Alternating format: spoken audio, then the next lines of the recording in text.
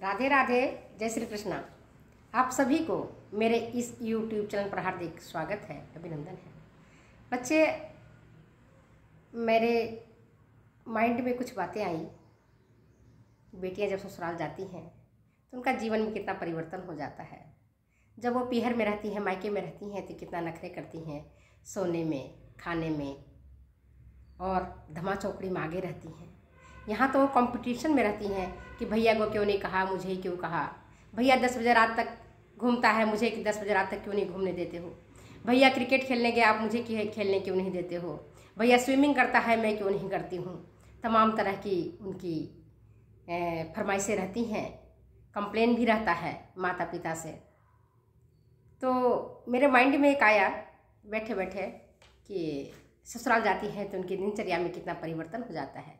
इसी पर मैंने एक कविता लिखी है, मेरी स्वरचित कविता है। बैठे बैठे माइंड में आया और मैंने इस कविता को लिख डाला। कविता का शीर्षक है, बेटियाँ समझदार होने लगी हैं। ससुराल में जाकर बेटियाँ समझदार होने लगी हैं। बेटियाँ समझदार होने लगी हैं और ससुराल को अपना समझने लगी हैं। जो बेटियाँ उठाने भी नहीं, में ही भी नहीं उठती थी। जो बेटियाँ उठाने से नहीं उठती थीं वो अब ससुराल में खुद ही उठने लगी हैं, बेटियाँ समझदार होने लगी हैं।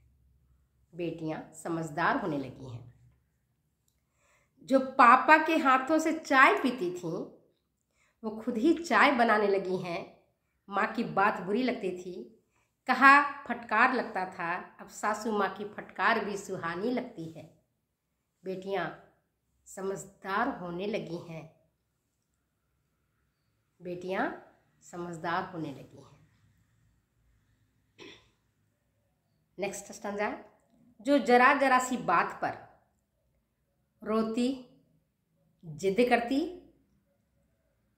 चीखती और चिल्लाती थी, वो आज वो गम के आँसू पी लेती हैं, मुस्कुराती हैं, कहती हैं, ठीक हूँ, थोड़ा रुक के बात करती हैं। बेटियाँ समझदार होने लगी हैं। बेटियाँ ससुराल को अपना समझने लगी हैं। नेक्स्ट स्टंजा है। गाड़ी की मांग कर चार कदम पैदल चलने पर ऐतराज करती थी। गाड़ी की मांग कर चार कदम पैदल चलने पर ऐतराज करती थी। आज वही ससुराल में पैदल चलकर गर्व महसूस करने लगी हैं। बेटियाँ समझदार होने लगी। बेटियाँ समझदार होने लगी हैं। नेक्स्ट स्टेंजा है।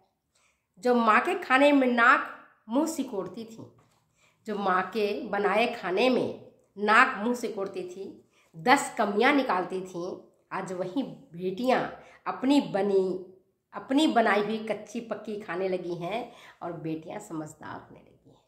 बेटियाँ समझदार होने लगी हैं। नेक्स्ट है। स्टांजा। ससुराल जाते ही बेटियाँ बड़ी हो गई हैं। ससुराल जाते ही बेटियाँ बड़ी हो गई हैं। पापा की परी सबका कहा मानने लगी हैं। पापा की परी सबका कहा मानने लगी हैं। नौकरी के साथ साथ घर भी संभालने लगी हैं। बेटियाँ समझदार होने लगी हैं। बेटियाँ समझदार होने लगी हैं। और लास्ट स्टंजा। जो धमा चौकड़ी करती थी। घर को बिखेर कर रखने में भी गर्व महसूस करती थी। घर को बिखेर कर रखने में भी गर्व महसूस करती थी। आज वो संभल संभल कर बोलने लगी हैं। आज वो संभल संभल कर बोलने लगी हैं।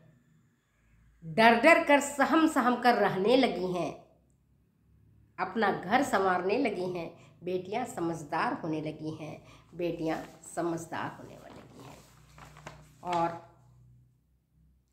लास्ट बट नॉट लिस्ट जो दिन भर, जो दिन भर मोबाइल्स चिपकी रहती थी, दोस्तों से ठठा ठठा कर बातें करती थी, जो दिन भर मोबाइल से चिपकी रहती थी। दोस्तों से ठठा ठठा कर बातें करती थी। आज वो सहमती, सकुचाती सी रहने लगी हैं।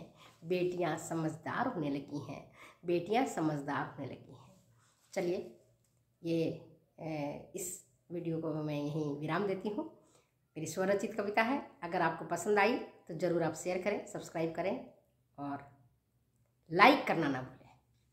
आपके लाइक से, आपके कमेंट से मेरा मनोबल बढ़ता है और मैं काम करने के लिए आगे से आगे प्रेरित होती हूँ।